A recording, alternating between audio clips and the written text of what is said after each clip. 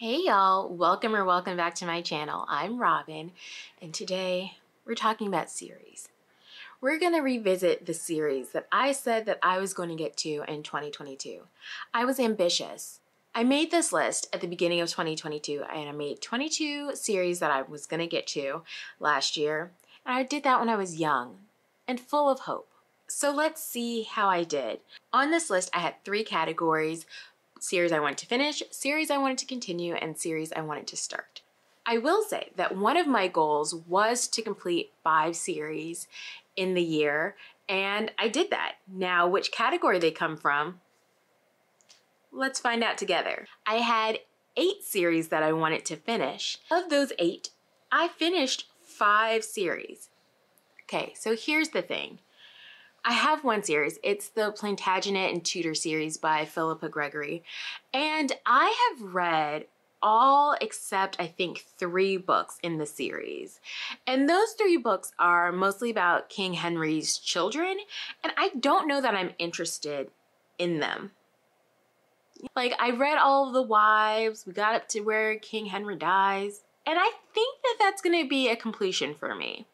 Um, I've read 15 of those books now.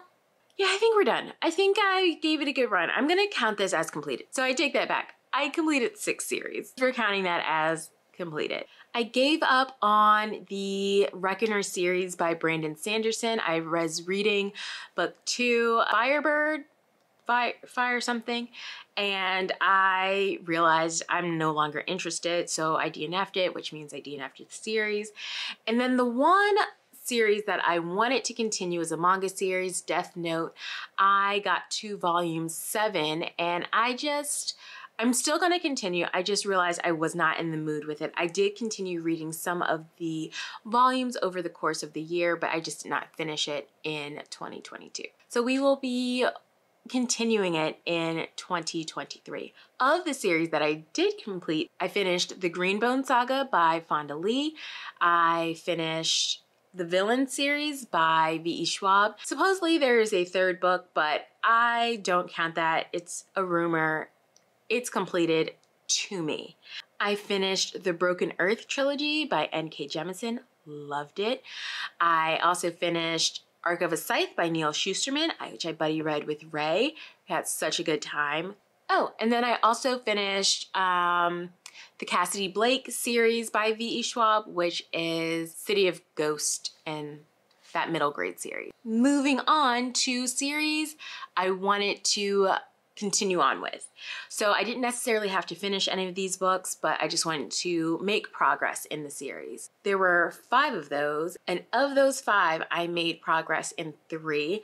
I continued reading in Attack on Titan, which is a manga series, continued on in the Saga um, comic series. I didn't read too many volumes of that this year, but there's time. And then the third one is one I actually completed. It was the Reluctant Royal series by Lissa Cole. And I read I like three, two novellas and one, the last book in the series. And I had a great time. So that was another series completed. The series that I didn't even touch in 2022 Throne of Glass by Sarah J. Maas. I think House of Earth and Blood put me into such a reading slump that I was like, I'm not touching another Sarah J. Maas this year. But I do still plan on continuing with that series because even though it's trash, I'm enjoying it. And then the other is the Farseer trilogy by Robin Hobb. I started it in 2021, but just did not continue it in 2022. So maybe this this is the year for it.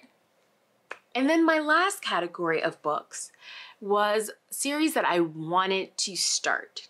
And there were eight of those. They were the Bastards, something Bastards series by Christina Lauren, the Inheritance trilogy by Jennifer Barnes. I don't know what this, but like a darker shade of magic by V Schwab. She was on here a lot. um, but that was on the list. The Poppy War by R.F. Kuang, The Promised Neverland by Kaiu Shirai, Crescent City by Sarah J. Maas, The Mistborn trilogy by Brandon Sanderson and Anti Darken by Kiersten White And then the last one was Faithful and the Fallen series by John Gwynne. Of those nine series, I started four. I completed two of them, and then the rest I didn't get to. I I didn't get to. You would think that 22 series was enough for me to focus on. But nope, I started some more series last year. So let me just tell you what they were. I started the Love Sisters trilogy. I think that they're all novellas though, so I can probably get those in and out. But the first one is I Think I Might Love You by Christina C. Jones. Then I read Aru Shah and the End of Time, which is the beginning of the Pandava Quartet, which is a middle grade by Roshani Chokshi. And then I read The Boyfriend Project, which is the start of the Boyfriend Project series by Farrah Rochon. I also read Arsenic and Adobo, the Tita Rosie's Kitchen series by Mia P. Manansala. I read The Daughter of the Moon Goddess, which I had pre-ordered just be- did I pre-order it? Or maybe I just I just ordered it. Anyway, I read that, which is the first of the Celestial Kingdoms duology by Sue Tan. But I really loved that so much that I pre-ordered the second book and did I read it? No. I also started the Nameless Republic series, which the first book is Son of the Storm by Suyi Davies Okungbowa. I started the Sweat and Soap manga series by Kintetsu Yamada. And then I also read City of Brass, which is the first in the Daevabad trilogy by S.A. Chakraborty. Yeah. So those I will probably be continuing. I also read um, Raybearer, which is the first book in the Raybearer duology.